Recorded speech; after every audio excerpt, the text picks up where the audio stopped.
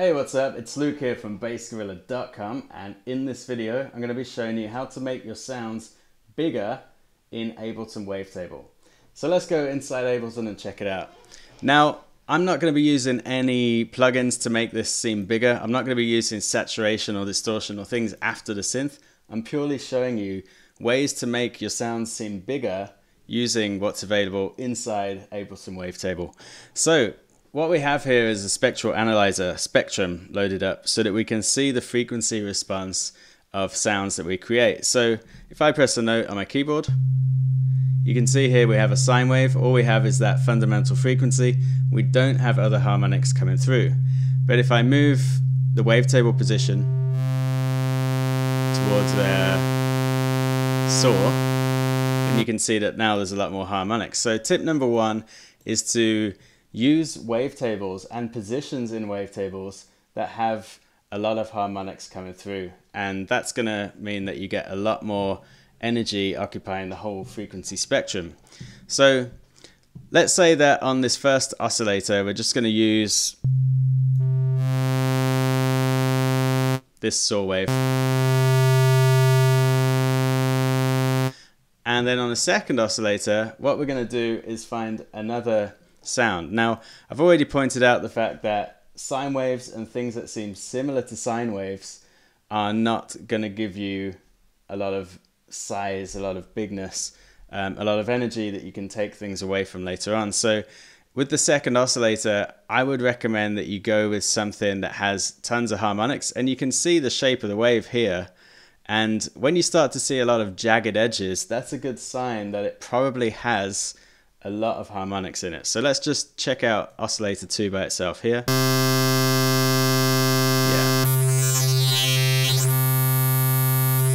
So if you look here, the shape of this waveform here is not as jagged, it's a lot smoother compared to this. This has a lot more harmonics in it. This one has even more. So by using these kind of wave shapes or waveforms that have lots of jagged edges in them, that's going to create more harmonics in your sound as well. You can see it visually inside Wavetable. I'm going to combine that with the saw. Let's just bring the level down here.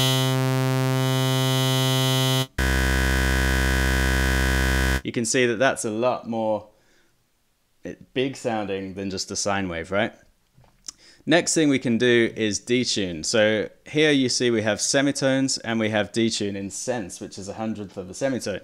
And so if I just detune this slightly by say two cents, that's going to help to create more perceived size in the sound. Next thing is I'm going to turn off this um, this low pass filter because I don't want that to take off any of the high frequencies, just trying to get as much sound coming through as possible.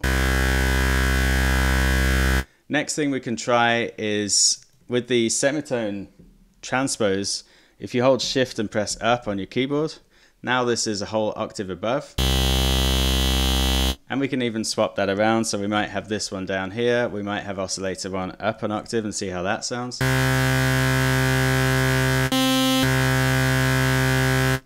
Okay, next thing we can do is use a sub. So if you click on sub here, let's just turn off oscillators 1 and 2. The sub is just a sine wave, but as you raise the tone, that introduces more harmonics to the sound. You can have it one octave below the global transpose, or two octaves below, or at the same transpose. So I'm going to activate oscillators 1 and 2 now.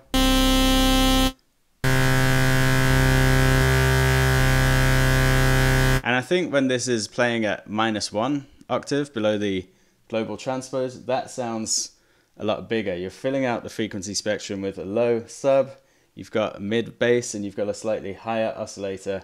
So you're really filling out that whole frequency spectrum. I'm actually going to bring this down an octave.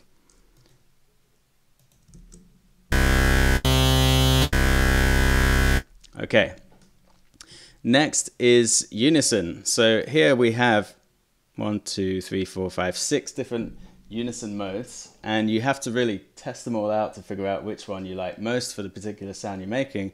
But by adding unison, or by making use of unison with a sound, you're having several instances of that same sound be created at the same time, and then the unison amount is going to detune those different instances of that same sound so that you get a detuning effect and you you can hear many different voices coming through in the mix.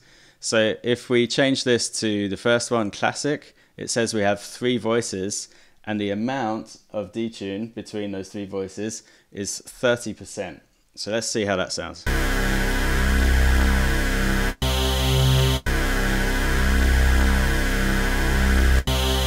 So that makes a huge difference to the sound. That can add a lot more perceived size to your sounds, and I recommend you to use this as, as much as possible when you're trying to create a big sound.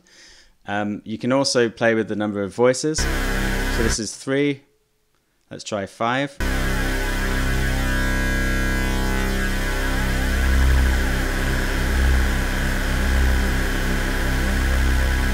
Playing with the amount of detune can make a huge difference as well.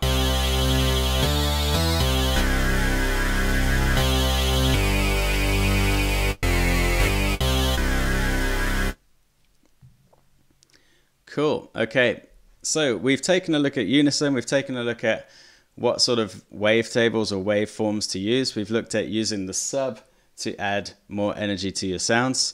Now with the filters here, you can see that we have a low pass, a high pass, a band pass, and a notch. Now all of these filters are going to take energy out of your sound, and that might, in most cases, that would make your sound seem further away or smaller than it is because you're taking energy and you're cutting frequencies out of the sound. But with a notch filter, you might be able to find a sweet spot where it does make the sound seem bigger. So let's activate this notch filter, just bring the, bring the resonance up a bit, and I'm going to scan through the frequency band and see if I find a spot that seems to make the sound appear to be bigger.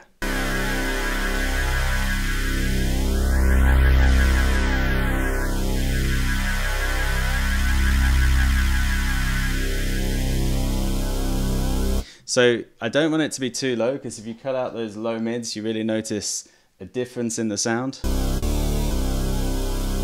Let's see how that is compared to not having the notch.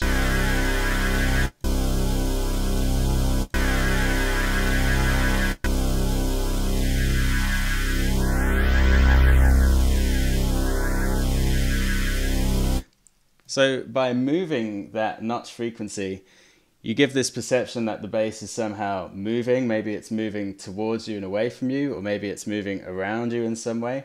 But it gives this feeling that that sound is somehow surrounding you more than if the sound is just not moving at all, right? So, no notch sweeping.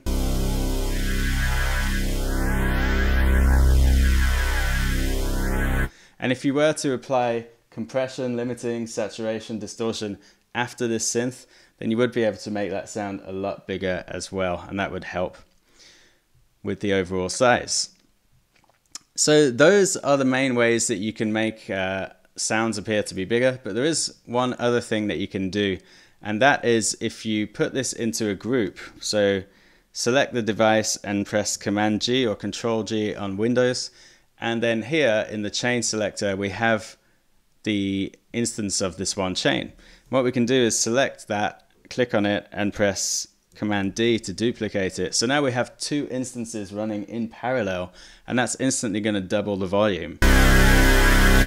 But if I also detune the second instance of it, then that's going to help to create even more interesting or even more size in the sound. So we could detune this by a couple of cents up and that is oscillator 1. We could detune oscillator 2 by a few cents up.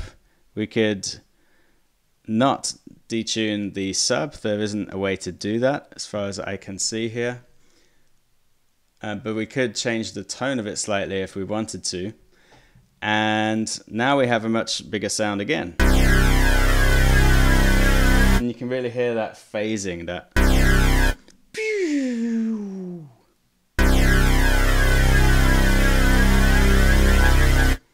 Cool. So that is another way. And another way still is to change this to be an octave above the original one. So here we have global transpose. If I just press shift and up, now that's up 12 semitones. And now it sounds like this. So without this second instance, but with it,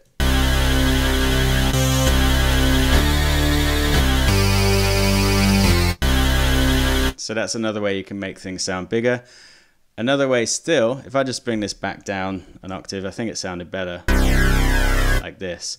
I'm going to duplicate this instance again, and with the third instance of Wavetable, what I'm going to do is just change it completely. So I'm going to solo it, I'm going to put it up an octave, and I'm going to create a sort of um, a synth that's going to sit behind these main basses in the background, and that's going to help to fill up some of the higher frequencies in the spectrum to make the overall sound seem to be bigger, so fuller.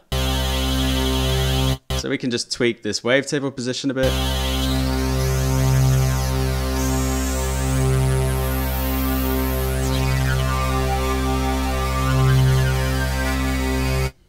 Another thing we could do is try and find a range within the wavetable that sounds particularly full or fierce or aggressive.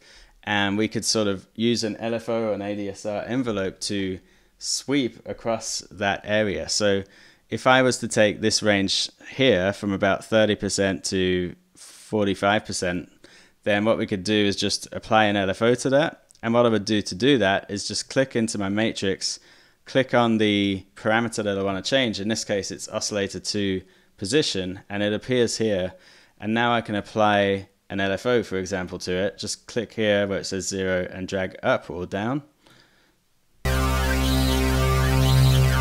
And we can even have we can even go into that LFO by clicking on it, bring the rate down,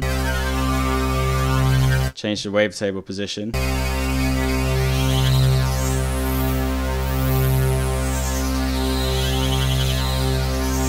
So now we have some movement in the sound, but we've also found a nice range within the wavetable position where you're accessing a range of those different waveforms that create a sort of aggressive feel relative to other positions in the wavetable. And we can also go into the first oscillator, tweak that wavetable position a bit. Maybe we'll make it more of a square because that might um, contrast nicely with the more saw-shaped waveform that we have in oscillator 1 here. The sub, we could tweak the tone of it. We could even try turning it off um, because we have lower frequencies covered by the other two instances of wavetable already. So now what we have is this.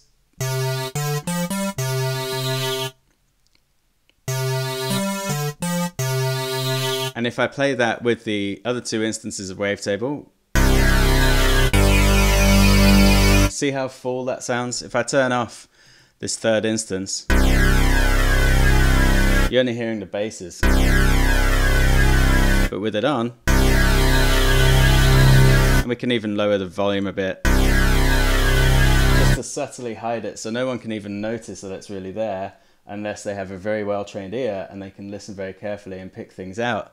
But it's just making the overall sound seem a lot bigger. So that's about it for today. I hope you've enjoyed this video. I hope that that's given some, you some useful tips on how you can make your sounds bigger and if you enjoyed this video, don't forget to subscribe to our channel and hit that bell icon so you get notified about new tutorials that we release on YouTube. And if you're looking to get serious about music production and you want step-by-step -step courses on all kinds of topics music production related, head on over to bassgorilla.com and we hope to see you there soon. Cheers!